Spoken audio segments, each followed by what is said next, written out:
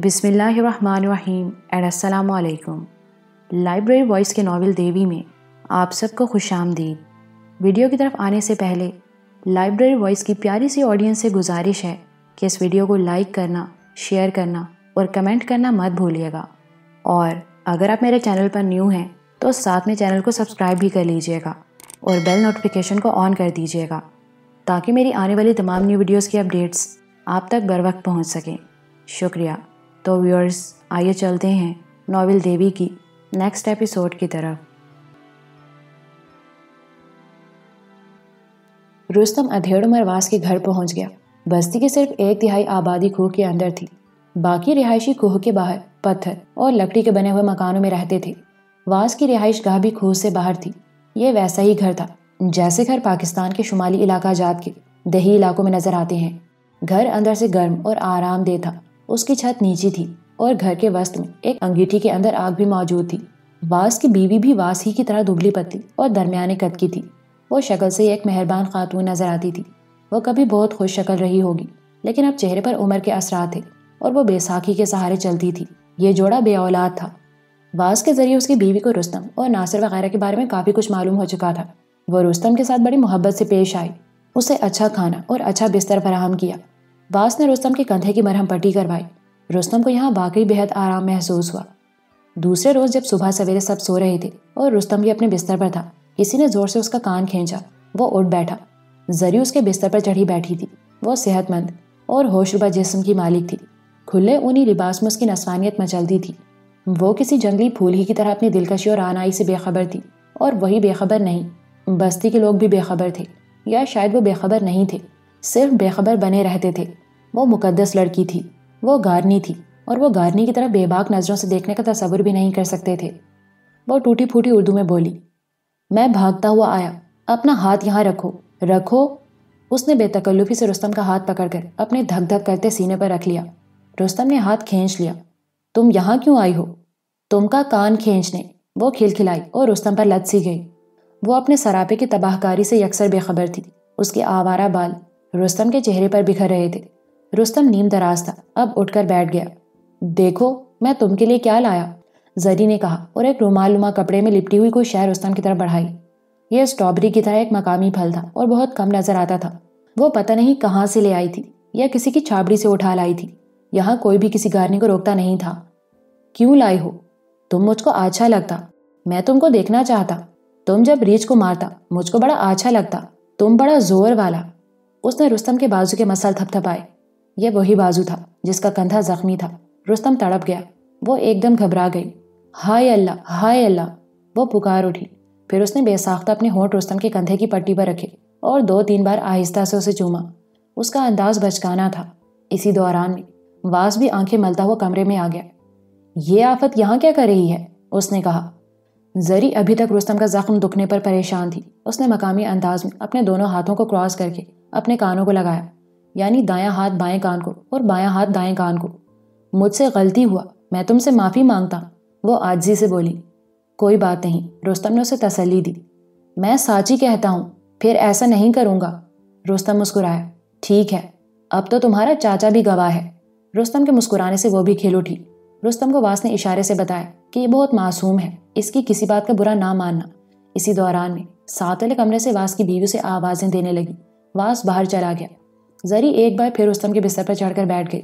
रुस्तम ने उससे पूछा, कि कल शाम जब नेमान ने कुल्हाड़ी से उस पर हमला करना चाहा तो वो अचानक वहाँ कैसे पहुँच गए जरी के चेहरे पर शर्म का सुर्ख रंग लहरा गया। वो अजीब नज़रों से उसकी तरफ़ देखती रही, फिर एकदम बोली, मैं वहाँ पहले से था, तुमको देखता, तुमको वहाँ बैठा अच्छा लगता। अब बात रुस्तम की समझ में आ रही थी। ये सर फिरी लड़की रुस्तम के पीछे ही पीछे वहाँ आई थी और किसी दरख्त की ओर से उसे देख रही थी। इसी दौरान में उसने नेमान को देखा, जो कुल्हाड़ी सोच कर अकब से रुस्तम की तरफ़ बढ़ा था। जरी ने उसका इरादा भांप लिया और भागकर उससे चिमट गई ये बड़ा ड्रामाई वाक्य था। तुम कैसी लड़की हो? मेरी समझ में कुछ नहीं आता। मैं बहुत अच्छा हूँ, तुम भी बहुत अच्छा तुम्हारा लंबा बाल भी कितना शनारी। शनारी? क्या मतलब? शनारी शनारी मतलब आछा। उसने रुस्तम को समझाना चाहा और बेतकल्लुफी से रुस्तम के बालों में उंगलियाँ फेरी। इसी दौरान में वास के कदमों की आहट सुनाई दी। रुस्तम ने जरी का हाथ जल्दी से पीछे हटा दिया। वास अंदर आ गया। उसके हाथ में गरम गरम कहवे की प्याली थी। वो जरी से मुखातिब होकर बोला अच्छा अब तुम जाओ। हमें बात करनी है। वो मुतजबजिब नज़र आई, जैसे जाना ना चाह रही हो। वास ने दोबारा कहा तो उसे उठकर जाना पड़ा, लेकिन चंद ही सेकंड बाद वो फिर से भागी हुई आई और अटक अटक कर बोली, ये तुम के लिए, मैं भूल गया। उसने कपड़े में लिपटे हुए फल, रुस्तम के सामने रख दिए और शर्माए हुए अंदाज में बाहर चली गई। बास बड़े गौर से अपनी भतीजी के चेहरे का उतार चढ़ाव देख रहा था। उसके जाने के बाद वो हमेशा से ज़्यादा उदास नज़र आने लगा। रुस्तम को मुखातिब करके बोला, तुमने जरी के सामने मुझे उसका चाचा कहा। आइंदा नहीं कहना। दरअसल, जरी शुरू से ही बहुत मासूम और भोली भाली थी। यहाँ आकर ये चार पाँच साल हमसे दूर रही, इस दूरी से ये और भी बदल गई। अब ये गारनी बन गई है और गारनी का कोई रिश्ता नहीं होता। वो सिर्फ़ आबू की अमानत होती है। जरी भी करीबन भूल ही चुकी है कि वो हमारी भतीजी है। वो हमें चाचा जी कहती है, लेकिन ऐसे ही, जैसे और बहुत से लोगों को कहती है, हम भी चाहते हैं कि हमारे साथ उसका उन्स कम से कम हो। इसे बहुत देर ज़िंदा नहीं रहना है। शायद एक या दो साल। आखिरी अल्फाज कहते कहते वास की आवाज़ भरा गई। रुस्तम ने कहा, क्या इसे भी ये सब कुछ मालूम है? वास ने असबात में सर हिलाया। बचपन से ही गारनियों की तरबियत इस अंदाज से की जाती है।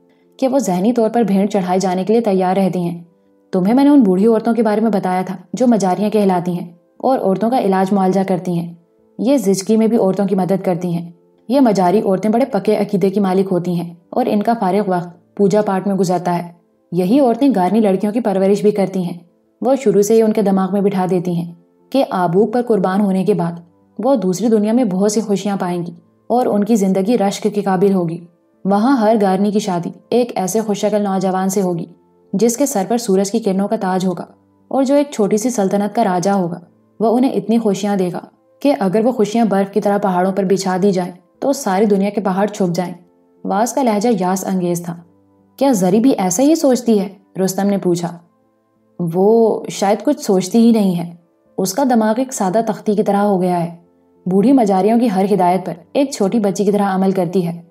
उसका काम इसके सिवा और कुछ नहीं कि दूसरी गारनियों की तरह? सारा दिन गली कूचों में चौकड़ियाँ भरे और रात को इबादत गाह में जाकर मजारियों के साथ सो जाए। रुस्तम ने गहरी सांस लेते हुए कहा, बस, क्या तुम नहीं चाहते कि तुम्हारी इस प्यारी सी मासूम भतीजी की जान बच जाए? ये यहाँ से निकल सके। इसकी वाकई शादी हो, बच्चे हों, ये अपनी ज़िंदगी जी सके। क्यों नहीं चाहता? लेकिन मैं क्या कर सकता हूँ? उसके लहजे में थकन और शिकस्त थी। तुम दिल से चाहो तो सब कुछ हो सकता है। तुम कैदी नहीं हो, यहाँ के आज़ाद बाशिंदे हो, तुम कोशिश करो तो तुम्हारे लिए कोई ना कोई राह खुल सकती है, कहीं ना कहीं रास्ता मिल सकता है। वो क्या कहते हैं, ढूँढने वाले को तो खुदा भी मिलता है। वास ने दीवार से टेक लगाकर गहरी नज़रों से रुस्तम को देखा, कमरे में दाखिल होने वाली सुबह की रोशनी, रुस्तम के दाएँ रुखसार को रोशन कर रही थी। बर्फ़ जार पर नमूदार होने वाली सूरज की सुनहरी किरणें, उसके लंबे बालों और छोटी छोटी नरम दाढ़ी में सहसरा रही थी। आँखों में एक नामालूम लपक थी, वास ने कहा तुम्हारी बातों में हौसला है और उम्मीद है। ऐसी बातें मैंने यहाँ पहले किसी की जबान से नहीं सुनी। मुझे लगता है कि वो कहते कहते खामोश हो गया। क्या लगता है? रोस्तम ने पूछा। मुझे लगता है कि तुम्हारा कोई बहुत प्यारा इस बर्फ़ के पार मौजूद है। उसकी कशिश तुम्हें हर वक्त बेचैन रखती है, अपनी तरफ़ खींचती है। शायद ये कशिश तुम्हें किसी वक्त यहाँ से निकाल ही ले जाए। आज नहीं तो कल कल नहीं तो दो चार साल बाद या फिर पाँच दस साल बाद। नहीं, इतना वक्त नहीं है मेरे पास। रुस्तम ने अपने सीने पर हाथ फेरा। तुमने अभी तक अपने माजी के बारे में कुछ नहीं बताया, ना ही नासिर और शरीफ ने बताया है। वास ने गिला किया, इससे तुम्हें या मुझे कोई फ़ायदा नहीं होगा वास। क्यों ना हम वो बातें करें, जिनसे हम दोनों को कुछ फ़ायदा हो। मसलन मसलन ये कि यहाँ से निकलने का क्या हीला हो सकता है? हमारी पहली दो कोशिशों में क्या खामी थी, जिसकी वजह से हम नाकाम हुए? आइंदा क्या तरीका होना चाहिए? आखिर तुम्हें यहाँ रहते हुए एक अरसा गुजर गया है वास। तुम यहाँ के अंदरूनी मामलों से अच्छी तरह वाकिफ हो। अगर तुम कोशिश करो तो मुझे यकीन है कि हम यहाँ से निकल सकते हैं। ना सिर्फ़ खुद, बल्कि तुम्हें और जरी को भी निकाल सकते हैं। नहीं भाई, मुझमें अब इतनी हिम्मत नहीं। वास ने बेकरारी से नफी में सर हिलाया। मैं अपने और अपनी बीवी के लिए अब किसी तरह का खतरा मोल नहीं ले सकता। ना ही मैं तुम्हें इस तरह का मशवरा दूँगा। तीसरी बार शोतम खान तुम्हें माफ़ नहीं करेगा। शोतम खान खुदा नहीं है वास, और ना ही ये जगह काला पानी है। मैं समझता हूँ। कि तुम शोतम खान से ज़्यादा समझदार और बातदबीर शख्स हो। तुम्हारे पास इल्म की रोशनी है। इन लोगों के पास बस अंधे अकीदे हैं और वहम की पूजा पाठ है। रुस्तम देर तक वास से महवे गुफ्तगु रहा। उसने वास की हर बात का जवाब दलील से दिया। रुस्तम का अंदाज़ा हो रहा था कि वास भी दिल से यह बात मानता है कि अगर एक मुनजिम कोशिश की जाए तो इस इलाके से निकलना नामुमकिन नहीं है। दूसरी बात रुस्तम ने यह महसूस की कि वो जरी को उसके दर्दनाक अंजाम से बचाना चाहता है। वो चाहता है कि जरी नौ उम्री की मौत से बचे। और आज़ाद दुनिया में सांस ली। शाम को जरी फिर आ गई। वह उसके पास आलती पालती मारकर बैठ गई और अपने मखसूस अंदाज में बातें करती रही। रोस्तम की ज़रा सी शय पाकर वो उसके बिस्तर में घुस आई। उसने बड़ी सादगी से ऐलान किया, मैं आज तुम्हारे पास सोऊँगा। उसकी चाची ने उसे डांटा कि लड़कियाँ ऐसी बातें नहीं करती। चाची ने उसे रुस्तम के बिस्तर से निकलने का हुक्म दिया। उसकी आँखों में एकदम आँसू चमक गए। रुस्तम ने उसे पुचकारा, चलो चलो, बैठ ही रहो। उसके आँसू मुस्कुराने लगे। वो जितनी जल्दी गमगीन होती थी, उतनी ही जल्दी खुश भी हो जाती थी। उसे रीछ की लड़ाई बहुत अच्छी लगती थी। वह रुस्तम से रीछ की लड़ाई के बारे में बातें करने लगी और पूछने लगी कि वो इतने ज़ोर वाले जानवर को किस तरह पिछाड़ लेता है। रुस्तम ने उसे मुनासिब जवाब दिए। फिर उसकी जहनी रो दूसरी तरफ़ चली गई। वो बच्चे की तरह मचलने लगी कि रुस्तम अपनी सदरी हटाकर उसे अपना जिस्म दिखाए। चाची दूसरे कमरे में थी। नहीं, ये अच्छी बात नहीं, रुस्तम ने उसे टोका। नहीं, ये अच्छा बात, ये औरतों के लिए अच्छा बात नहीं। तुम के लिए अच्छा बात। वो उसे गुदगुदाने लगी और सदरी हटाने की कोशिश करने लगी। एक बार फिर वही हुआ, जो सुबह हुआ था। रुस्तम के कंधे का जख्म दुख गया। रुस्तम के तासुरात देखकर वो घबरा गई। सुबह की तरह उसने बेसाख्ता दो तीन बार रुस्तम का कंधा चूमा और अपने हाथों को क्रॉस करके कानों को लगाया। मैं माफ़ी माँगता, मैं गलती करता, फिर माफ़ी माँगता, फिर गलती करता। रुस्तम ने कराहते हुए उसकी नकल उतारी। इतने में वास तेज कदमों से अंदर दाखिल हुआ, उसे देखते ही। जरी गुलहरी की तरफ़ फुदक कर बाहर निकल गई। वास के चेहरे पर हेजानी तासुरात थे। वो बोला, औरत वाकई फसाद की जड़ होती है। किसी ने सोचा भी ना था कि यहाँ पाउंदा बस्ती में कभी ऐसा होगा। क्या हुआ? रुस्तम ने पूछा। आज फिर अरफा खान और सामी खान के हिमायतियों में कुल्हाड़ी चली है। एक बंदा जान से गया है। एक का बाजू कट गया है। वो सख्त जख्मी है। बास अंगीठी के करीब बैठकर रुस्तम को इस वाक्य की तफसील बताने लगा। उसने कहा कुछ लोगों को शक है कि सामी खान पर आने वाली आफत की असल वजह अरफा खान ही है। अरफा ने ही खुफिया जगह पर लेडी डॉक्टर का खोज लगाया और बाद में उसे जान की अमान देकर और सामी के खिलाफ पट्टी पढ़ाकर शोतम खान के पास भेजा। रुस्तम खामोशी से वास की बातें सुनता रहा। आखिर में रुस्तम ने पुरसोच अंदाज में कहा, वास, मुझे बताओ, क्या इस सूरत हाल में हमारे लिए बेहतरी का कोई पहलू निकल सकता है? वास ने चौंकी हुई निगाहों से रुस्तम को देखा और फिर सर झुकाकर खामोशी से कुछ सोचने लगा। रुस्तम बड़े सब्र से इंतज़ार करता रहा। अंगीठी में जलती हुई आग खुशनुमा मालूम होती थी। बाहर बर्फानी हवा चल रही थी। साथ वाले कमरे में वास की बीवी, बैसाखी के सहारे ठक ठक चल रही थी और मकामी लोगों की मरगूब गजा गोश्त पुलाव पका रही थी। इस मज़ेदार पुलाव में अमूमन बर्फानी बकरे या बर्फानी मुर्ख का गोश्त इस्तेमाल होता था। काफ़ी देर बाद अधेड़ मरवास ने सर उठाया। उसकी आँखों में अजीब सी कैफियत थी। वो खोई खोई सी आवाज़ में बोला, यहाँ पाउंदों में जो कुछ हो रहा है, वो बिल्कुल नया और अनदेखा है। यहाँ के लोगों की असल ताकत ही उनका बाहिमी इत्तेफाक है, जो अरफा और सामी की लड़ाई के बाद टूटता फूटता नज़र आ रहा है। मेरे ख्याल में से इत्तेफाक के बजाय गठजोड़ कहना चाहिए, क्योंकि ये बुरे लोगों का एका है और गलत कामों के लिए है। वास ने इस बात में सर हिलाया और गुफ्तगु जारी रखते हुए बोला, यहाँ के लोग शोतम खान के अफराद को बहुत पारसा और नेकोकार समझते रहे हैं, लेकिन कुछ लोगों के दिलों में थोड़े बहुत शकूक शुभात भी मौजूद थे। अब सामी खान और अरफा की वजह से ये शकूक बहुत ज़्यादा बढ़ गए हैं और मेरे ख्याल में ये शोतम खान के लिए बहुत बड़ा धचका है। अगर इस मौके पर यह ऐश पसंदी वाला मामला थोड़ा सा और उछल गया तो शोतम खान के लिए यहाँ के अमन सकून को बरकरार रखना मुश्किल हो जाएगा। मेरे ख्याल में अपने दुश्मन को कमज़ोर करना हर लड़ने वाले का हक होता है। वास ने एक बार फिर इस बात में सर हिलाया और रुस्तम की बात की गहराई में झांकता रहा। कुछ देर बाद उसने बड़े राजदाराना अंदाज में कहा, जो बात मैं तुम्हें अब बताने जा रहा हूँ, ये तुम्हें अजीब लगेगी। शायद तुम समझो कि मैं गलत बयानी कर रहा हूँ। या मुबालगे से काम ले रहा हूँ। लेकिन यह सौ फ़ीसद हकीकत है। हाँ तुम इसे हैरान करने वाली हकीकत कह सकते हो। रुस्तम सवाली नज़रों से वास का चेहरा देखता रहा। आग की रोशनी वास की पेशानी पर मुनकिस हो रही थी और उसके नीम सफ़ेद बालों का रंग तब्दील कर रही थी। शोतम यहाँ का मलिक है। उसकी पारसाई और नेकोकारी पर किसी को शुबा नहीं, वास ने कहना शुरू किया। शोतम की बीवी उस वक्त मरी थी, जब शोतम की उम्र सिर्फ़ तीस पैंतीस साल थी। लोग जानते हैं कि उसके बाद से औरत शोतम की ज़िंदगी से निकल गई है। वो किसी औरत की तरफ़ आँख उठाकर भी नहीं देखता और ना किसी तरह की दिलचस्पी ज़ाहिर करता है। लेकिन लेकिन क्या? रुस्तम ने पूछा। शोतम के अंदर औरत के लिए जितनी तड़प है, वो बहुत कम लोगों में होगी। कोई मुझसे पूछे तो मैं उसे बताऊँ कि आदम का ये साठ साल बेटा हवा की बेटी के लिए कितना तरसता है। रुस्तम गैर यकीनी नज़रों से वास की तरफ़ देख रहा था। वास खिड़की से झांकने लगा। दूर मशरकी टीलों के अकब से पूरी रात का चाँद आहिस्ता आहिस्ता किसी सुनहरी गुब्बारे की तरह फजा में बुलंद हो रहा था। वास ने कहा, शोतम खान के बारे में जितना मैं जानता हूँ, शायद कोई और ना जानता हो। और जो बात मैं तुम्हें अब बताने लगा हूँ, वो तुम्हें और भी अजीब लगेगी। वास ने ज़रा तोकफ के बाद कहा, शोतम खान तकरीबन हर महीने, चंद दिनों के लिए, एक ख़ास किस्म की कैफियत का शिकार हो जाता है। ये बड़ी हैजानी हालत होती है। उन दिनों में शोतम खान खुद को आम लोगों से बिल्कुल अलग कर लेता है। उन दिनों में वो औरत से मिलना तो कुछ उसको देखने या उसकी आवाज़ सुनने से भी परहेज करता है। वो औरत के मामले में पत्थर है, लेकिन मैं जानता हूँ उन दिनों में वो एक शीशा होता है, जो जवान औरत के सांसों की ठोकर से भी टूट सकता है। वास ने एक बार फिर खिड़की से बाहर चमकते चाँद की तरफ़ देखा और बोला, मेरे ख्याल में शोतम खान की खास कैफियत के वो खास दिन शुरू होने वाले हैं। वास का लहजा मायनी खेज था। शोतम की खास कैफियत वाली बात रुस्तम के समझ में पूरी तरह तो नहीं आई, लेकिन वो कुछ ना कुछ समझ गया। मुर्तजिम वास ने मजीद तफसील बताते हुए कहा कभी कभार नागा भी हो जाता होगा, लेकिन आम तौर पर महीने में कम अज कम एक बार ऐसा ज़रूर होता है। आम तौर पर जब चाँद जोबन पर आने के बाद घटना शुरू होता है तो शोतम के अंदर ये तब्दीली बतदरीज पैदा होती है। फिर एक दो रोज़ के अंदर ही वो चार पाँच दिन के लिए गायब हो जाता है। कहाँ गायब हो जाता है? रुस्तम ने पूछा। अग्यारह में। मकामी जबान में अग्यारह चिल्ला काटने की जगह को कहते हैं। शोतम खान के घर के पिछवाड़े, तुमने सफ़ेद पत्थरों की वो चार दीवारी देखी होगी, जिसके अंदर पत्थर की दीवारों में दो बड़े बड़े झोंपड़े हैं। यहाँ आबू का एक पुराना दरख्त भी है। रुस्तम ने इस बात में सर हिलाया। यही अग्यारह है, वास ने कहा। उस चार दीवारी का दरवाज़ा बहुत पुराना है।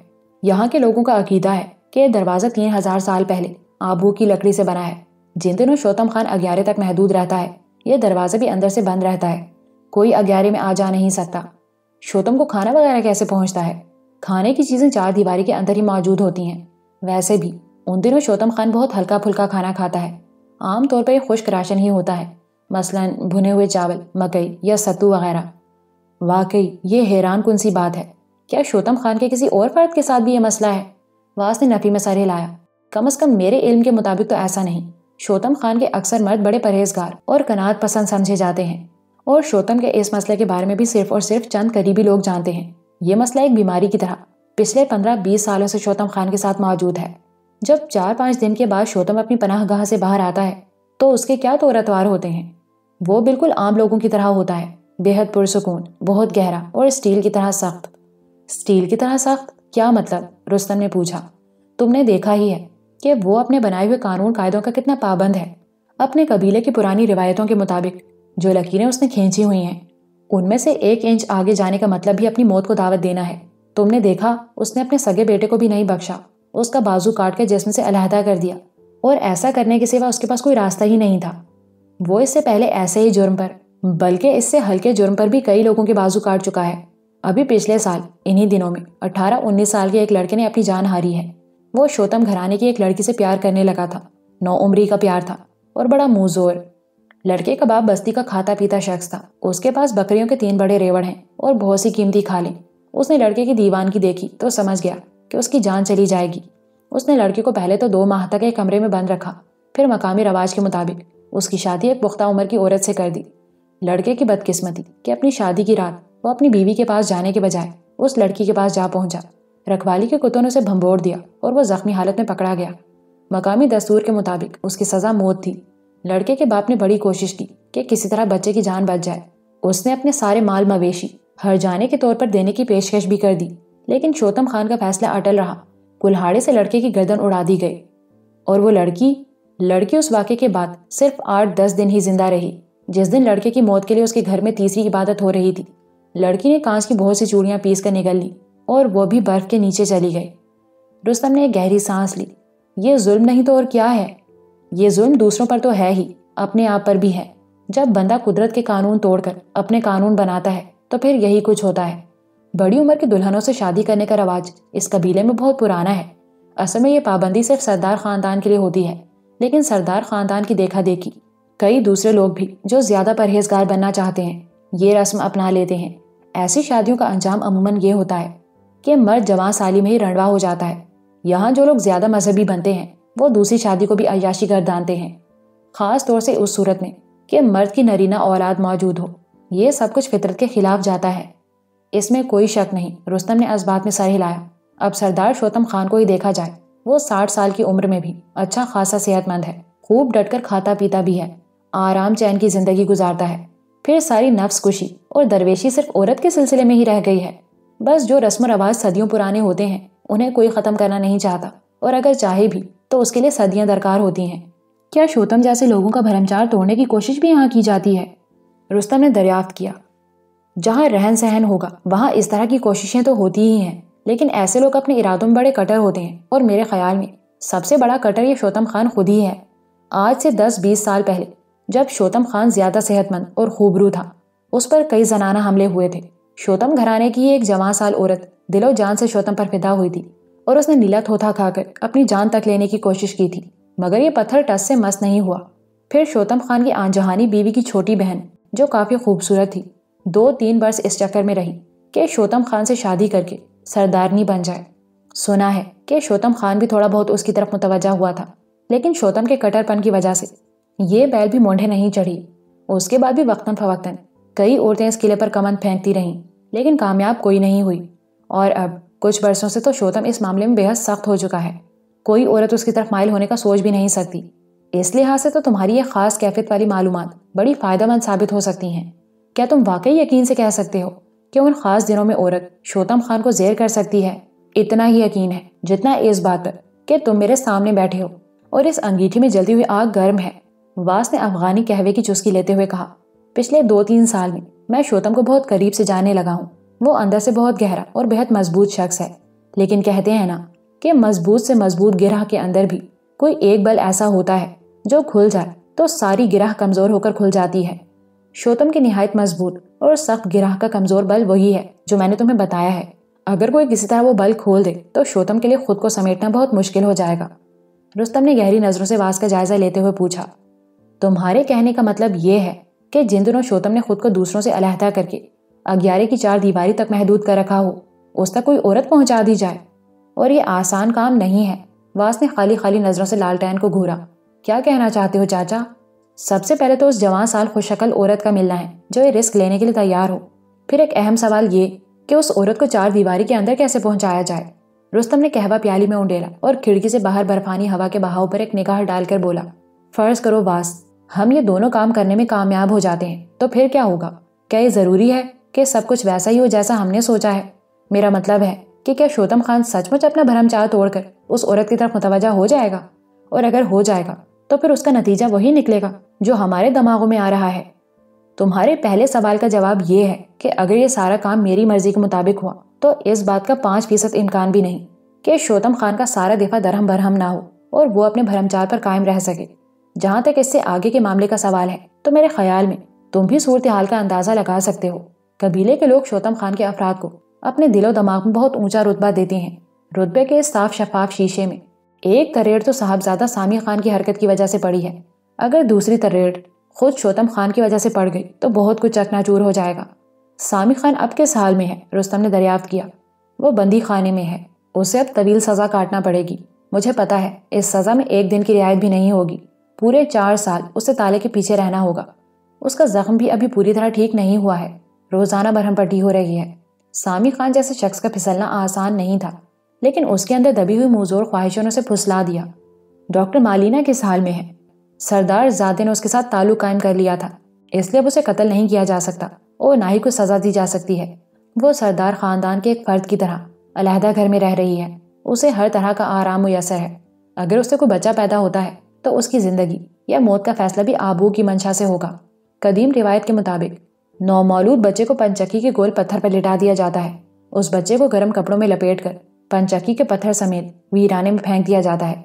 अगर बच्चा रात भर सर्दी और जंगली जानवरों के पंजों से बचा रहा तो समझा जाता है कि आबूक ने उसे वापस लौटा दिया है। दूसरी सूरत में जाना जाता है कि आबूक ने अपने पास रख लिया है। सुबह बच्चे की माँ जाती है और खुश्क आबूक के तने के पास से बच्चे को ज़िंदा या मुर्दा हालत में उठा लाती है। बड़ा बेरहम तरीका है, रुस्तम ने तासुफ ज़ाहिर किया। लेकिन ये तो तब होगा, जब डॉक्टर उम्मीद से होगी। मुझे नहीं लगता कि ऐसा है, अगर होता तो मजारियों से आज़ादी से घूमने फिरने ना देती। क्या वो आज़ादी से घूम फिर सकती है? मुकम्मल आज़ादी तो उसे नहीं है, लेकिन बस्ती के अंदर, दिन के वक्त वो चल फिर लेती है। दो तीन दफ़ा तो यहाँ मेरे घर तक भी आ चुकी है। वो जिस जगह रह रही है, वो यहाँ से ज़्यादा दूर नहीं, सिर्फ़ दो तीन मिनट का रास्ता है, बल्कि इससे भी कम, और शायद मैं तुम्हें बताना भूल गया। पाँच छः दिन पहले तो उसने हद ही कर दी थी। शाम के बाद छोटी झील की तरफ़ चली गई। तुम्हें पता ही है कि ये जगह बस्ती के बिल्कुल जनूबी किनारे पर है। वो अपने घर से करीबन आध किलोमीटर आगे निकल आई थी। मुहाफिज ने उसे पकड़ लिया और वापस घर ले आए। उसने कहा कि उसे कुछ पता नहीं, वो कैसे झील तक पहुँची है। उसने बताया कि उसे नींद में चलने की आदत है। अब मालूम नहीं, उसने अपनी जान छुड़ाने के लिए बहाना बनाया या उसे वाकई नींद में चलने की बीमारी है। वास ने सवालिया नज़रों से रुस्तम की तरफ़ देखा, जैसे उससे तस्दीक चाह रहा हो। रुस्तम ने कहा मुझे इस बारे में ज़्यादा पता नहीं, लेकिन ऐसा होना नामुमकिन भी नहीं। तुम्हें पता ही है कि यूरोप में लोग शराब वगैरह पीते हैं और नशे में धुत होकर सोते हैं। नींद में भी हाथ पाँव चलाते रहते हैं। वास ने पुरसोच अंदाज में कहा, दो ही सूरतें हो सकती हैं। डॉक्टर मालिना वाकई नींद में चलती है, या फिर उसने अपने किसी प्रोग्राम को छुपाने के लिए बहाना बनाया है। हो सकता है कि वो दूसरे नासमझ कैदियों की तरह इस बर्फीले टापू से निकलने के लिए किसी रास्ते का जायजा ले रही हो। वैसे ये बात मानना पड़ेगी कि वो एक होशियार लड़की है। अगर होशियार ना होती तो शायद अब तक ज़िंदा ना होती। खाना तैयार हो चुका था। चार दीवारी में पुलाव और अखरोट के हलवे की इश्तिहा अंगेज खुशबू फैली हुई थी। वास की बीवी उन्हें कई दफ़ा पुकार चुकी थी। आखिर उन्हें दूसरे कमरे में जाकर खाना खाने के लिए उठना पड़ा। अगले रोज सुबह सवेरे से ही जरी ने वास के घर के गिद मंडलाना शुरू कर दिया। वास मुसलसल घर में था, इसलिए जरी रुस्तम के करीब नहीं आ सकी। बस्ती में बदस्तूर तनाव की कैफियत थी। कल होने वाले हंगामे के बाद पुरअंदेश खामोशी ने बस्ती के गली कूचों और कोह के तूलो अर्ज़ में पड़ाव कर रखा था। वैसे भी सर्दी मामूल से ज़्यादा थी। बर्फजार में बर्फानी हवाएँ सनसनाती थीं और दूर कहीं से गाहे बगाहे एक पुरहोल आवाज़ सुनाई देती थी। वास ने बताया कि ये बर्फानी तोदे हैं जो एक ढलवान से फिसल फिसल कर एक आबी गुजरगाह में गिरते हैं और आवाज़ पैदा करते हैं। नाश्ते के बाद वास और रुस्तम एक बार फिर गौर फ़िक्र में मसरूफ हो गए। वास ने गुड़गुड़ी का कश लेते हुए कहा, क्या ख्याल है रुस्तम? क्या हम इस मामले में मालिना को इस्तेमाल नहीं कर सकते? तुम्हारा मतलब है कि अग्यारे में शोतम की आजमाइश के लिए मालिना को भेजा जाए। मैं सिर्फ़ मशवरे के तौर पर यह बात कह रहा हूँ, वास जल्दी से बोला।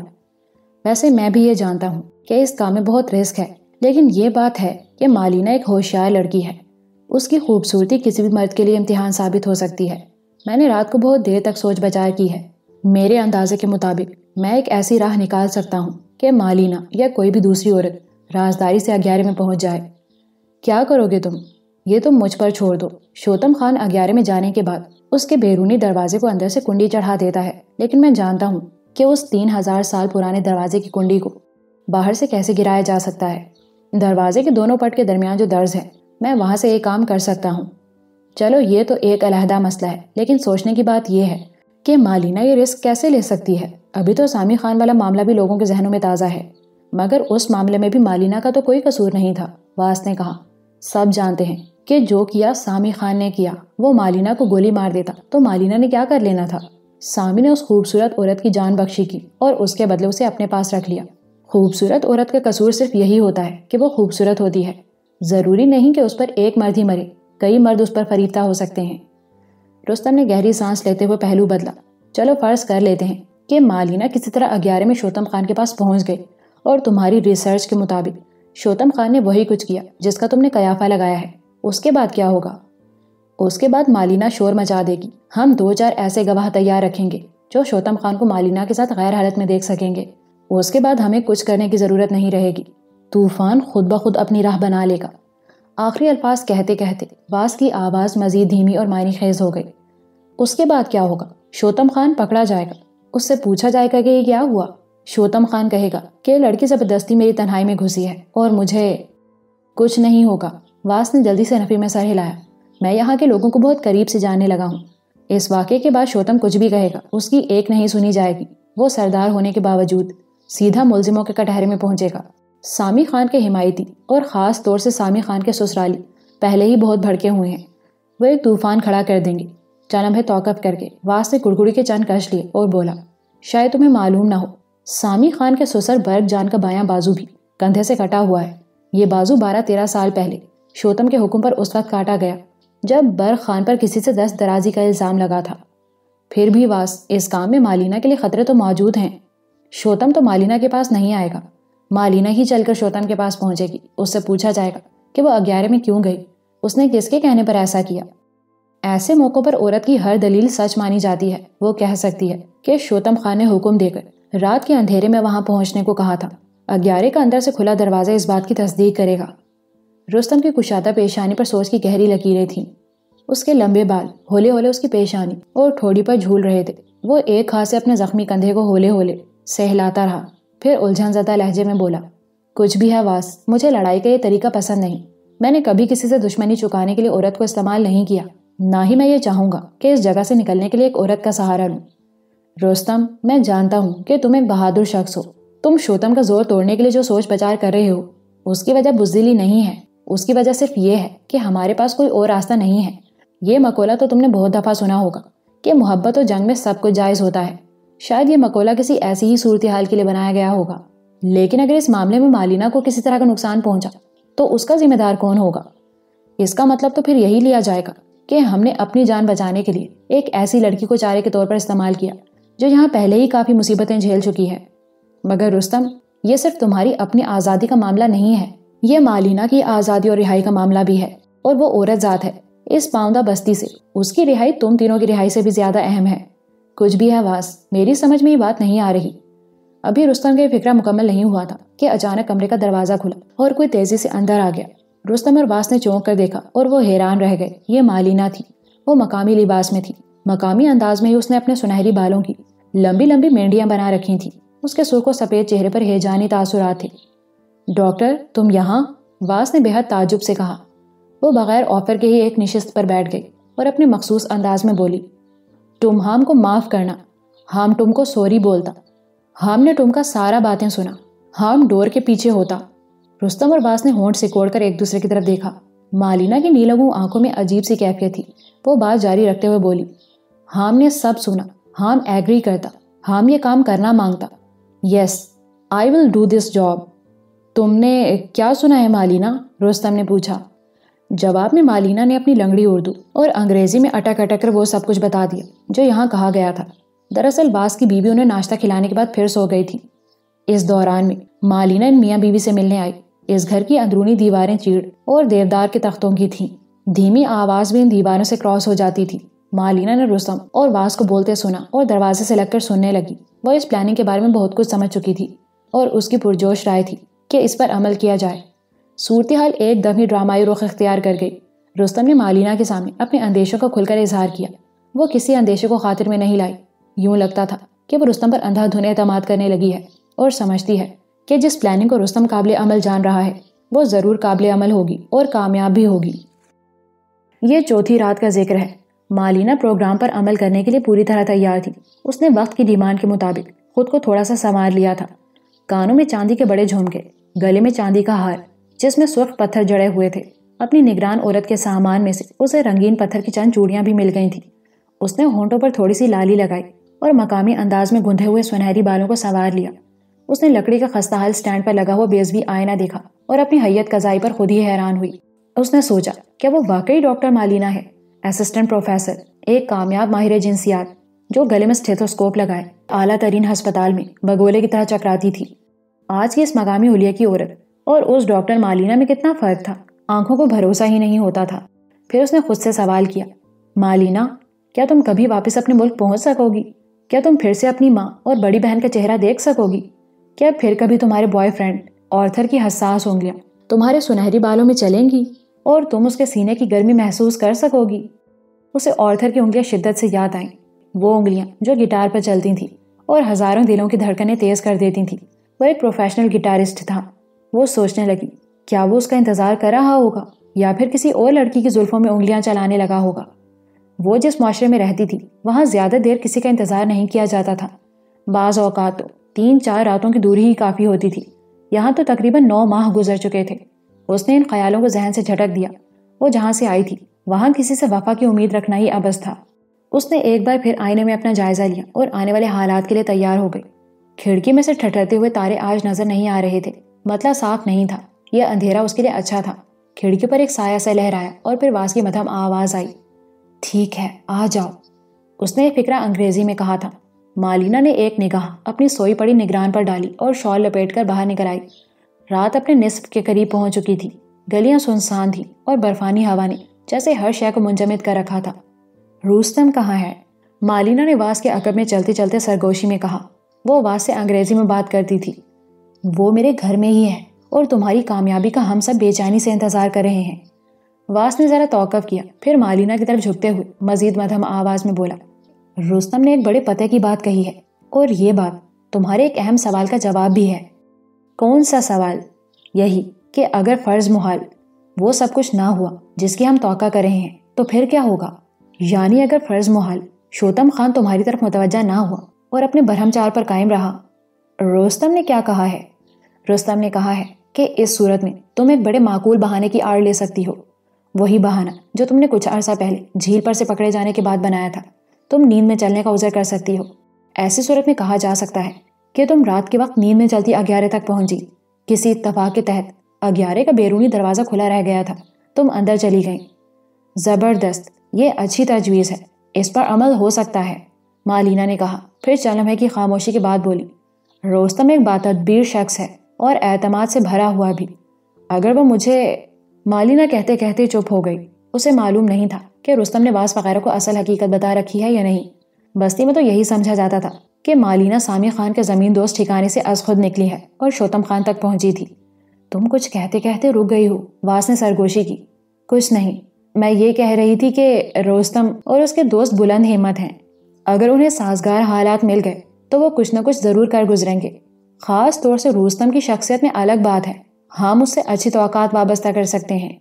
दो तीन बिल्कुल सुनसान और तारी गलियों से गुजर कर वो अग्यारे के सामने पहुँच गए। यहाँ दो तीन झंडे लहरा रहे थे। चार दीवारी के अंदर मखरूती झोंपड़ों की साख पगोड़ों से मिलती जुलती थी। लेकिन ये पगोड़े नहीं थे। सामने ही आबू की लकड़ी का वह कदीम दरवाज़ा था, जिसे खोलकर मालिना को अंदर जाना था। उसका दिल शिद्दत से धड़कने लगा। सख्त सर्दी के बावजूद उसे अपनी हथेलियाँ नम महसूस हुई। सारी बातें तुम्हें याद है ना? वास ने अंग्रेज़ी में पूछा। मालिना ने इस बात में सर हिलाया। वास बोला, यहाँ ज़्यादा देर रुकना ठीक नहीं। अब तुम जाओ। दरवाज़ा खुला है। ऊपर वाला तुम्हारी मदद करेगा। वास चंद कदम पीछे हटकर तारीखी में रूपोश हो गया। मालिना कुछ देर तक गली के वस्त में तेज बर्फानी हवा के सामने खड़ी रही। फिर उसने मुस्तहकम अंदाज में कदम बढ़ाए और अपना हाथ लकड़ी के भारी भरकम दरवाजे पर रख दिया। उसने दबाव डाला। तो एक महीन आवाज़ के साथ दरवाजे का पट वाह हो गया। मालिना अंदर दाखिल हुई और अपने अकब में दरवाज़ा भेड़ दिया। अंदर पगोड़ा नुमा झोंपड़ों में से एक झोंपड़े के अंदर उसे लालटेन की मध्यम रोशनी नज़र आई। यह गोल झोंपड़ा, दीगर दो छोटे झोंपड़ों से जरा हटकर था। उसमें से हल्का धुआँ भी उठता महसूस होता था। गालिबन अंगीठी वगैरह दहक रही थी। मालिना बर्फ़ की पतली तह पर कदम रखती हुई उसी बड़े झोंपड़े की तरफ़ बढ़ी। उसके टखनों में बंधी हुई चांदी की पायलों ने मधम आवाज़ पैदा की। झोंपड़ी का चौबी दरवाज़ा अंदर से बंद था। मालिना ने दिल कड़ा करके दरवाजे को आहिस्ता आहिस्ता हिलाया। अंदर लालटेन की रोशनी में हरकत पैदा हुई। अंदर जो कोई भी था, वो जाग रहा था। मालिना उल्टे कदम पीछे हट हटकर छोटे झोंपड़े की ओट में हो गई। चाँद सेकंड बाद बड़े झोंपड़े का दरवाज़ा खुला। मालिना ने झुरझुरी लेकर देखा। वो शोतम खान था। उसके एक हाथ में लालटेन थी और लालटेन की सुर्ख रोशनी। शोतम की झाड़ झनकार दाढ़ी और घनी भवों पर मुनक्स हो रही थी। उसने सरसराती हुई आवाज़ में कुछ कहा। गालिबन पूछा था कि कौन है? मालिना ने झोंपड़े की ओर से उसे अपनी झलक दिखाई। ओढ़नी उसने सर पर से ढलका दी थी, उसके माथे और सुर्खों सफ़ेद कानों में। चांदी का जेवर दमक रहा था।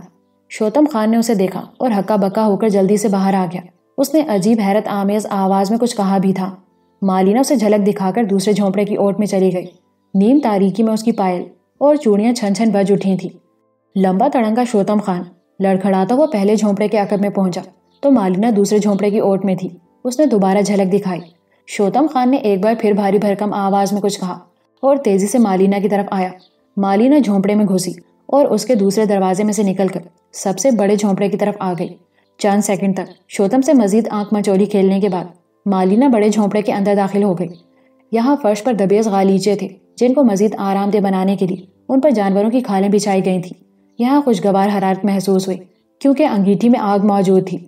एक तरफ़ इबादत के लिए चबूतरा सा नज़र आया यहाँ एक सफ़ेद तख्ते पर मुकद्दस दरख्त आबूक की शबी बनी हुई थी और आबू के फूलों से हार पिरो कर झोंपड़े की छत से लटकाए गए थे। यहाँ मालिना को उस जादुई पौधे, सब गंदल की खुशबू भी महसूस हुई, जिसकी कशिश सैकड़ों लोगों को और खुद मालिना को कहाँ से कहाँ ले आई थी। वो इस पौधे पर होने वाले तजुर्बात के सिलसिले में ही तो लंदन से पाकिस्तान और फिर इन दूर दराज पहाड़ों में पहुँची थी। ये सारे ख्याल शायद दो सेकंड से भी कम वक्त में मालिना के दिमाग से गुजर गए। एक लालटेन झोंपड़े के अंदर भी झूल रही थी। वो अपनी तमाम तर रान आई और अपनी खूबसूरती के बख्शे हुए सारे एतमाद के साथ उस लालटेन के सामने जा खड़ी हुई। वो जानती थी कि वो दिलकश नज़र आ रही है।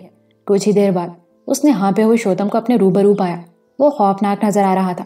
उसकी बड़ी बड़ी आँखें आखिरी हद तक खुली हुई थी। बिखरी हुई खुदरू दाढ़ी के अंदर होंठ लरस रहे थे। तुम यहाँ कैसे? वो बेपना हैरत से बोला। पिछले चंद माह में मकामी जबान के गिने चुने अल्फाज मालिना के समझ में आने लगे थे। उसे मालूम हुआ था कि यह ज़बान पश्तो, बल्तिस्तानी, कश्मीरी वगैरह का मरकब है। वह मुस्कुराई और मुस्कुराते हुए उसे अंदाज़ा हुआ कि शोतम की हालत देखकर उसके अंदर एतमाद पैदा हो रहा है। उसने जवाब में जो अल्फाज कहने थे, वो उसने पहले ही चुन लिए थे। वो बोली, मैं बेखबर नींद में चलकर यहाँ हूँ।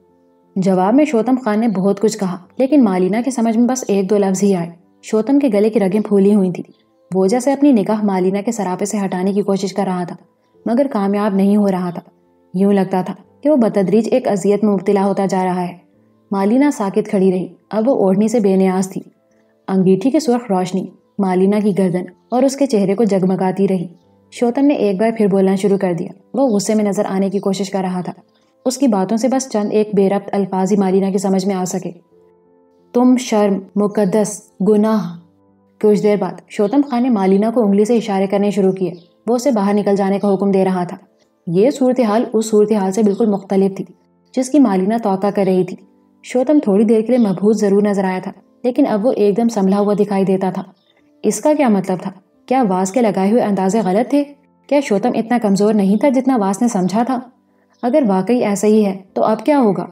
क्या वो उसे यहाँ से निकाल कर बाहर करेगा, या फिर अपने मुहाफिजों के हवाले कर देगा? कहीं वो उसके साथ मारपीट ही ना शुरू कर दे। कुछ भी था, आखिर वो यहाँ का सरदार था। एक ही सेकंड में ये सारे ख्यालात मालिना के जहन से गुजर गए। अचानक वो बुरी तरह चौंक गई। जिस जगह वो गुदास गालीचे पर खड़ी थी, वहाँ से फकत तीन कदम की दूरी पर एक सुर्ख गालीचे में हरकत पैदा हुई। यह गालीचा थोड़ा सा ऊपर उठा। पाँच छः इंच के खला में से मालिना को एक जवान बल्तिस्तानी लड़की की आँखें दिखाई दी। फिर एकदम खला बंद हो गया और गालीचा फर्श पर बराबर हो गया। मालिना सख्ते किसी हालत में खड़ी रह गई। शोतम तड़प कर आगे बढ़ा। उसने हरकत करने वाले गालीचे को ठीक से खींच कर उसकी जगह पर बिठाया। मालिना सन्नाटे में थी। दर हकीकत यहाँ फर्श में एक रास्ता था, जिस पर लकड़ी का चौकोर ढकना था। गालीचा उस चौकोर ढकने पर बिछा हुआ था और यहाँ एक लड़की थी। गालीचा बराबर करने के बाद शोतम लपक कर दरवाजे की तरफ़ गया और इससे पहले कि मालिना भागकर दरवाजे तक पहुँचती। शोतम ने दरवाजे को अंदर से कुंडी चढ़ा दी और मालिना को बाजू से पकड़कर वापस उन्हीं गदेलों में फेंक दिया। उसकी बड़ी बड़ी सुर्ख आँखों में इश्तियाल था, लेकिन इस इश्तियाल का ताल्लुक जिन्स से नज़र नहीं आता था। मालिना खुद माहिर जिनसियात थी। उससे बेहतर ऐसा तजिया और कौन कर सकता था? फिर एकदम मालिना की आँखों के सामने झमाका सा हुआ। उसने देखा, शोतम ने लपक कर एक तरफ़ पड़ी कुल्हाड़ी उठा ली है। छोटे दस्ते की इस कुल्हाड़ी का फल लालटेनों की रोशनी में खौफनाक चमक दे रहा था। खुदा के लिए नहीं, वो बेसाख्ता चिल्लाई फिर उसके जहन में आया कि यहाँ मिन्नत समाजत से काम चलने वाला नहीं, वो शोतम के एक अहम तरीन राज से आगाह हो चुकी है।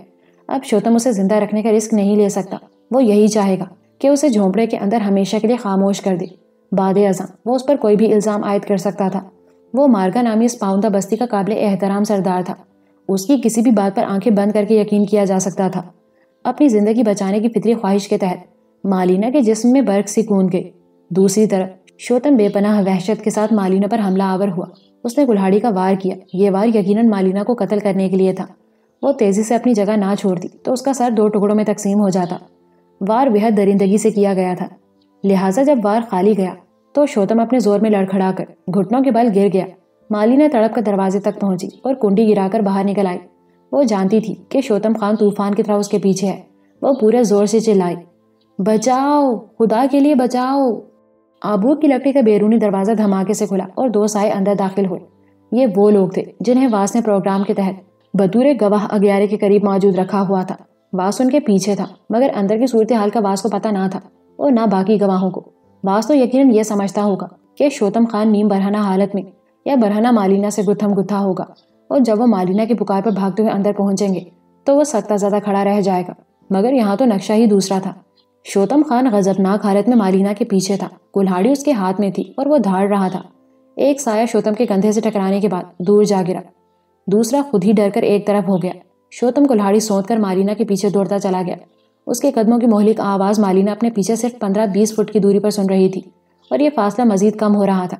मालिना जानती थी कि किसी लम्हे भी, कुल्हाड़ी का तेज धार फौलादी फल, उसके सर से टकरा सकता है। वो नीची छत वाले तारीख घरों के दरमियान, यखबस्ता गली में भाग रही थी और साथ साथ चिल्ला भी रही थी। उसका दिल कह रहा था कि बिलाखिर उसका आखिरी वक्त आन पहुँचा है। वो कहाँ जाए, किस तरफ़ जाए? उसने धुंधलाए हुए जहन के साथ सोचा, उसकी आँखों के सामने, रुस्तम का चेहरा उभरा। फराख पेशानी पर झूमते हुए बाल, बड़ी बड़ी आँखें, जिनमें एतमाद कूट कूट कर भरा हुआ था। वो उसे ज़्यादा नहीं जानती थी, लेकिन वो उन लोगों में से था। मुसीबत में जिन पर ख्वाम ख्वाम भरोसा करने को दिल चाहता है, और वो रुस्तम, आजकल मुर्तजम वास के घर में था। मालिना वहाँ उससे मिल चुकी थी। भागते भागते मालिना के कदम बेसाख्ता वास के घर की तरफ़ मुड़ गए। रुस्तम वास के घर में अंगीठी के करीब बैठा था। यह रात के ग्यारह बजे का अमल था, मगर वो जाग रहा था। वास की बीवी भी जाग रही थी। यह सोने की नहीं, जागने की रात थी। आज इस पाउंदा बस्ती में कुछ भी हो सकता था। वास की बीवी ने कहा, तुम्हारा क्या ख्याल है बेटा? सब कुछ वैसा ही होगा, जैसा तुमने सोचा है। उम्मीद तो यही है, रुस्तम ने सर हिलाया। तुम दोनों के अलावा और किसी को इस मामले का पता है? किसी को भी नहीं, रुस्तम ने जवाब दिया। और वो दो तीन गवाह जो अग्यारे में जाएँगे। बास ने उनको भी कुछ नहीं बताया, वो बस उन्हें किसी बहाने से अग्यारे के करीब ले गया है। लेकिन अगर, अभी वास की बीवी ने इतना ही कहा था, कि दूर से एक चिल्लाती हुई नसवानी आवाज़ सुनाई दी। आवाज़ तेज़ी से करीब आ रही थी।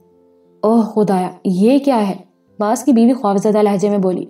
रुस्तम तेज़ी से उठा और अपनी वजनी बेड़ी घसीटता हुआ दरवाजे तक पहुँचा। उसे दूर गली में एक साया नज़र आया। वो अंधाधुन भागता हुआ आ रहा था। उसके अकब में एक और लंबा तड़ंगा साया था। बचाओ बचाओ, एक तेज आवाज़ सन्नाटे को चीरती हुई आई। यकीनन ये मालिना थी। उसने बचाओ बचाओ के अल्फाज अंग्रेज़ी में अदा किए थे। मुझे कुल्हाड़ी दो, रुस्तम ने हेजानी लहजे में वास की बीवी से कहा। उसने लपक कर कुल्हाड़ी रुस्तम की तरफ़ बढ़ाई। रुस्तम कुल्हाड़ी थाम कर बाहर गली में निकला। उस वक्त तक मालिना भागती हुई रुस्तम तक पहुँच चुकी थी। रुस्तम बस इतना ही देख सका था कि वो सर और पाँव से नंगी है।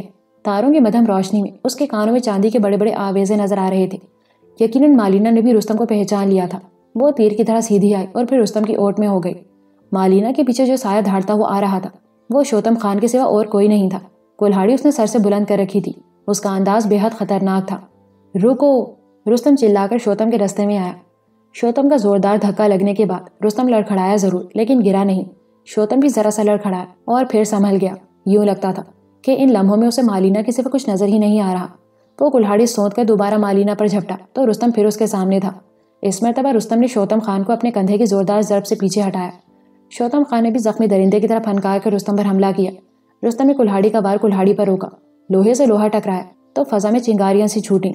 इस दौरान में कई और साई भी मौके पर पहुँच गए, लेकिन अभी शोतम खान के सामने आने और उसका हाथ रोकने की हिम्मत किसी में नहीं थी। शोतम ने किसी मुश्तिल हाथी की तरह चिंगाड़ते हुए रुस्तम पर कुल्हाड़ी के कई वार किए। ये सारे वार रुस्तम ने चाबुक दस्ती से अपनी कुल्हाड़ी पर लिए और छोटे छोटे कदमों से पीछे हटता गया। उसे सूरत हाल की कुछ समझ नहीं आ रही थी। ना ही उसे यह पता था कि उसे शोतम खान पर जवाबी वार करना चाहिए या नहीं। उन लम्हों में उसका सिर्फ़ एक ही मकसद था, और वो ये कि मालिना शोतम की वहशियाना यलगार से बच जाए, और उसे लग रहा था कि वो इस मकसद में काफ़ी हद तक कामयाब हो गया है। वो महसूस कर रहा था कि मालिना अब उसके अकब में नहीं शोतम के सारे गैज़ो गजब का निशाना अब रुस्तम था और वो बड़ी दलेरी और कामयाबी से उसके गैज़ो गजब को झेल रहा था। इसी दौरान में वास ने अकब से सरदार शोतम को संभालने की कोशिश की। पहली कोशिश में तो वो दूर जा गिरा। ताहम दूसरी कोशिश में चंद और अफराद उसके साथ शामिल हो गए और उन्होंने बड़ी बेबाकी से शोतम खान को अपने घेरे में ले लिया। उन्हीं नौवारिद अफराद में से कुछ लोग रुस्तम के दिफा के लिए उसके सामने खड़े हो गए। इर्द गिर्द के दरवाजे धड़ धड़ खुल गए थे और दर्जनों लालटैनी और लैम्प गर्दिश करने लगे थे। शोतम की हेजानी आवाज़ गूंज रही थी। वो मकामी जबान में चिंगाड़ रहा था। पकड़ो उसे, कहाँ गई? पकड़ो, जान से मार दो। शोतम को संभालने की कोशिश में वास की कलाई जख्मी हो गई थी और वहाँ से खून टपक टपक कर गली की बर्फ़ में गुलकारियाँ कर रहा था। इसी दौरान में चंद मशल बरदार घुड़सवार भी मौके पर पहुँच गए। ये सब मकामी ही थे। उनमें से एक फर्द को देखकर रुस्तम चौंका। ये चौड़े शान वाला एक दराज कद शख्स था। घोड़े पर बैठा, वो सबसे ऊँचा लग रहा था। उसका एक बाजू कंधे से कटा हुआ था और खाली आसीन हवा में झूल रही थी। वो मौके पर मौजूद लोगों से मुखातिब होकर बड़े तैश के आले में कुछ कह रहा था। रुस्तम ने अंदाज़ा लगाया कि यही शख्स सामी खान का सुसर बर्फ़ जान है। चार सौ एक तूफ़ान सा बर्पा हो गया था। हर शख्स चिल्ला रहा था, मुँह से झाग उड़ा रहा था। सबसे बुलंद धाड़ बर्फ़ जान की थी और शायद उससे भी बुलंद शोतम खान की। उसका शोर चोरी और सीना जोरी के मुस्ताक था। कुछ ही देर में बर्फ़ जान के मजीद साथी आ गए और उसके साथ ही शोतम खान के कमो बेश दो दर्जन मुहाफिज मौके पर पहुँच गए। हर तरफ़ कुल्हाड़ियाँ और राइफलें लालटेनों की रोशनी में चमकने लगी। देखते ही देखते सूरत हाल नहायत संगीन हो गई थी। बीस तीस सेकंड गुजरे थे कि दो पगड़ी पोश अपराध तेज़ी से घोड़े दौड़ाते मौके पर पहुँचे। उनमें से एक के कंधे पर क्लाशन कोफ लटक रही थी। उसने करीब आते ही बड़े तैश से शोतम खान की तरफ़ इशारा किया और बुलंद आवाज़ में कुछ कहा। उसके बोलने की देर थी कि एकदम जैसे किसी ने भड़कते शोलों पर तेल फेंक दिया। दो घुड़सवार कुल्हाड़ियाँ सोंत कर तीर की तरह क्लाशन को बरदार की तरफ़ लपके। लेकिन अभी वो रास्ते में थे कि एक छोटी सी कुल्हाड़ी तैरती हुई आई और एक हमलावर की गर्दन में लगी। उसके साथ ही एक बारह बोर की राइफल ने धमाके से शोला उगला और दूसरे हमला आवर का घोड़ा लड़खड़ाकर औंधे मुँह बर्फ़ पर गिरा। एकदम ही दर्जनों अफराद ललकारे मारते हुए एक दूसरे पर पिल पड़े। धमाकों से रात का सन्नाटा चकनाचूर होने लगा।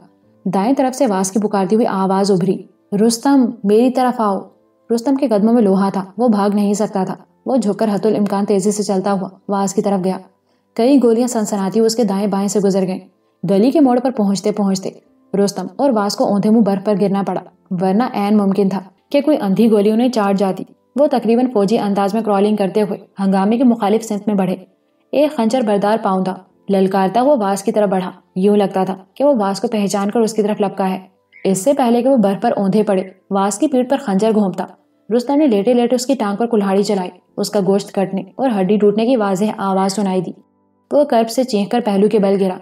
रुस्तम ने लेटे लेटे उस पर जस्त की और बेदरिया उसकी गर्दन पर वार किया। वो उसे मारना नहीं चाहता था, लेकिन ये भी जानता था कि अगर इस बिफरे हुए हमला आवर को एक मौका भी मिल गया तो वो अपना एक फुट लंबा खंजर बाँस के दुबले पतले जिस्म में उतार देगा। गर्दन पर कारी जरब खाने के बाद हमला आवर बेसुध हो गया। रुस्तम, जल्दी करो। वास ने रुस्तम का बाजू पकड़कर खींचा। किधर जाना है? बस मेरे पीछे आओ। दोनों एक बर्फीली ढलवान पर तकरीबन लुढ़कते हुए पंद्रह बीस मीटर नीचे चले गए। फिर वास उठकर एक तंग गली में दाखिल हुआ और एक मकान में घुस गया। रुस्तम भी उसके पीछे था। मकान में दो हैरान, परेशान औरतें मौजूद थीं। चंद सेकंड बाद रुस्तम को एक तीसरी औरत नज़र आई। ये मालिना थी। उसके जिस्म पर एक स्याह शॉल थी और वह सहमी हुई, एक तारीख गोशे में सिमटी थी। तुम ठीक हो ना मालिना? रुस्तम ने उसे सरतापा देखा। यस, हम ठीक और तुम? मैं भी ठीक हूँ, लेकिन वास को जख्म आया है। रुस्तम के बताने से पहले ही दोनों मकामी औरतें वास की जख्मी कलाई की तरफ़ मुतवजा हो चुकी थीं। उसे कुल्हाड़ी का गहरा कट लगा था। एक औरत ने वास का खून रोकने के लिए उसके जख्म पर अंगीठी की ठंडी राख लगाई और अपनी ओढ़नी की पट्टी फाड़कर बाँध दी। बाहर कयामत का शोर था। अंधाधुन फायरिंग हो रही थी और ललकारे गूंज रहे थे। ये क्या हो रहा है वास? रुस्तम ने पूछा। खून आलू कुल्हाड़ी अभी तक उसके हाथ में थी। वही हो रहा है जो होना था। शोतम के हिमायती और मुखालिफ आपस में भिड़ गए हैं। ये लावा कई दिनों से अंदर ही अंदर पक रहा था। आज फट पड़ा है। अब यहाँ वो सब कुछ होगा, जो पहले कभी नहीं हुआ था। बहुत खून बहेगा। ये कबायली लड़ाइयाँ ऐसी ही होती हैं। लड़ कौन कौन रहा है? ये साफ़ तौर पर दो ग्रुप बन गए हैं। कुछ लोग शोतम और उसके बड़े बेटे अरफा खान के हामी हैं।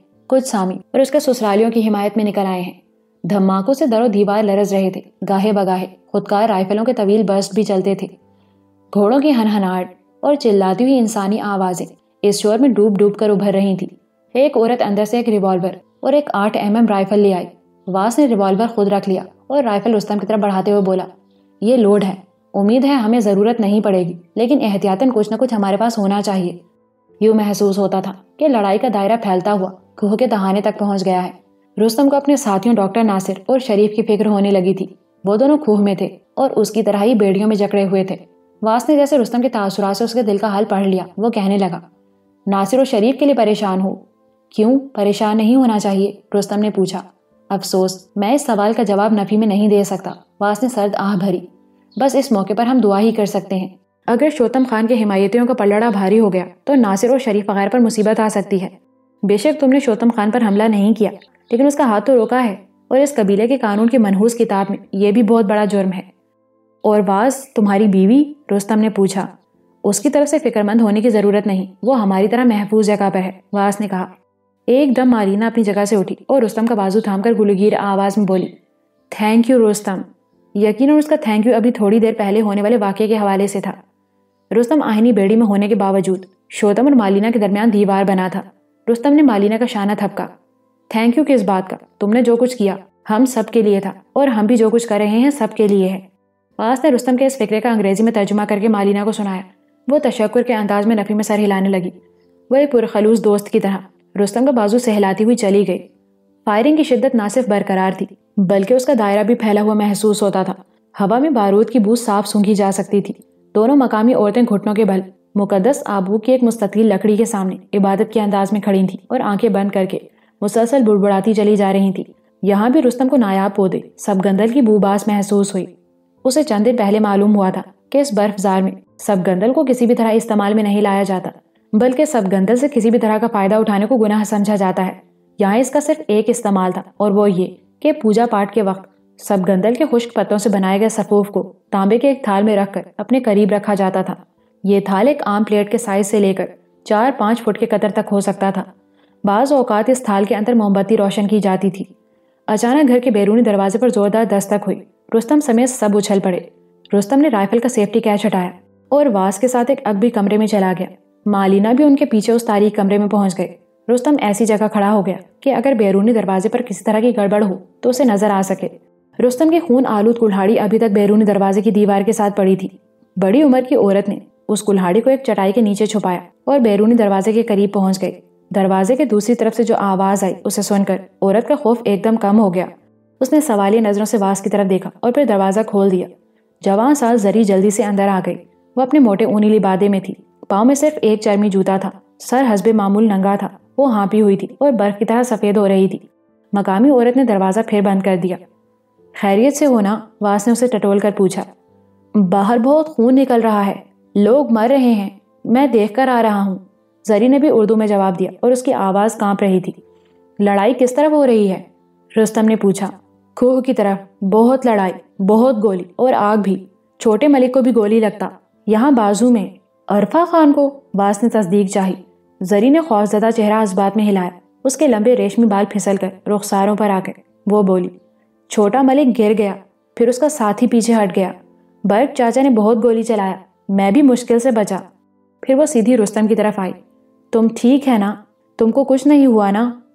हाँ इसे कुछ नहीं हुआ। तुम वहाँ जाकर बैठो। वास ने दूसरे कमरे की तरफ़ इशारा किया। जरी को यह हुक्म नागवार गुजरा। ताहम मानने की सिवा चारा नहीं था। वह रुस्तम को अजीब नज़रों से देखती और उल्टे कदमों चलती दूसरे कमरे में चली गई।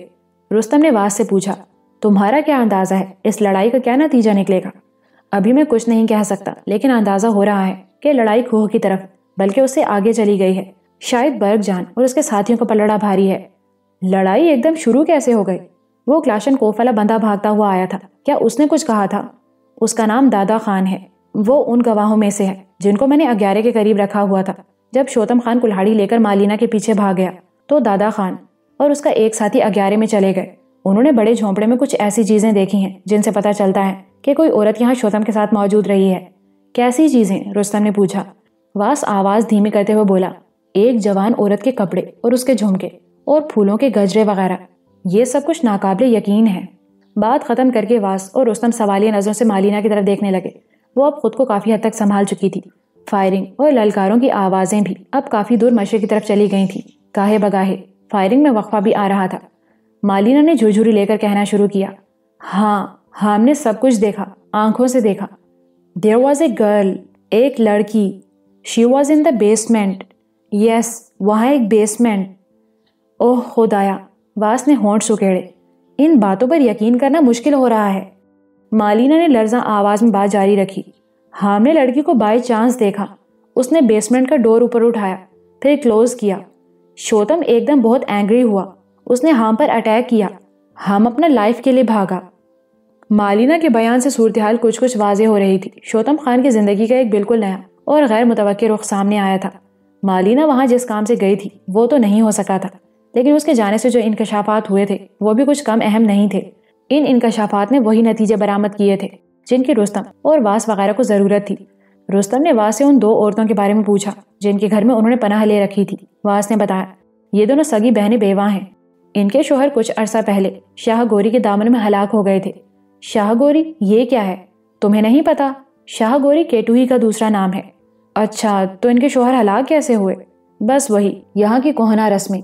और शोतम खान की हट धर्मी ये एक अलहदा कहानी है। तुम्हारे मतलब की नहीं, बेहरहाल। ये दोनों बीबियाँ हर तरह से काबिल एतमाद हैं।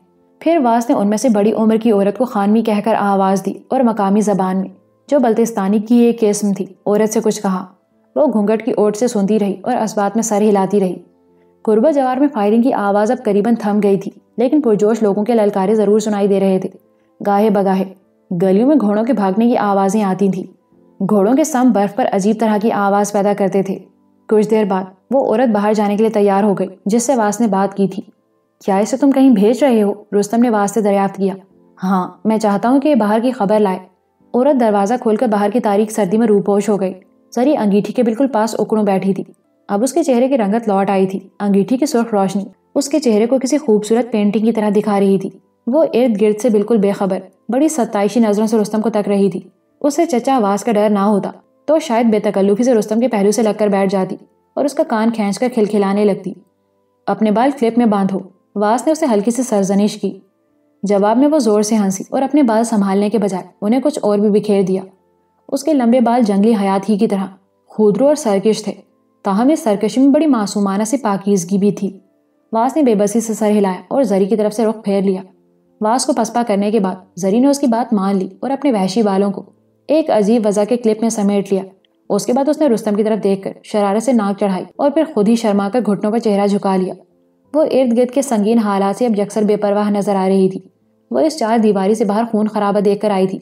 ताहम थोड़ी ही देर में वो उस खून खराबे को फरामोश कर चुकी थी या फिर शायद रुस्तम को सामने देखकर उससे सब कुछ भूल गया था। कुछ देर बाद उसने वास और मालिना की नज़र बचाकर अपनी जबान निकालकर रुस्तम को चढ़ाया और फिर घुटनों में चेहरा छुपाकर फुसफुस हंसने लगी। इसी दौरान बैरूनी दरवाजे पर दस्तक हुई। ये वही मकामी औरत थी, जिसे वास ने खानमी कहकर मुखातिब किया था। वो घूंघट निकाले हुए अंदर आ गई। उसका घूंघट लरज रहा था और यकीनन जिस्म भी लरज रहा था। वो घर के एक गोशे में चली गई। वास भी उसके पीछे गया। वहाँ लालटैन के पास बैठकर दोनों दस पंद्रह मिनट तक खुसर फुसर करते रहे। खुसर फुसर मुकम्मल हुई तो वास रुस्तम और मालिना के पास आया। उसने इंकशाफ अंगेज लहजे में कहा, अंदाज़ा हो रहा है कि बर्ग जान और उसके साथियों को पलड़ा भारी हो रहा है। शोतम खान के काफ़ी बंदे मारे गए हैं और जख्मी भी हुए हैं। उसका चहीता अरफा खान भी जख्मी है। उसे गोली लगी है, शोतम और उसके साथी बस्ती के मशरकी किनारे की तरफ़ पसपा हो गए हैं। लड़ाई फ़िलहाल रुकी हुई है। तुम्हारा क्या अंदाज़ा है? बस्ती का कंट्रोल किसके पास है? अभी कुछ नहीं कहा जा सकता। जब तक मैं खुद बाहर ना जाऊँ, हम सिर्फ़ कयाफे लगा सकते हैं।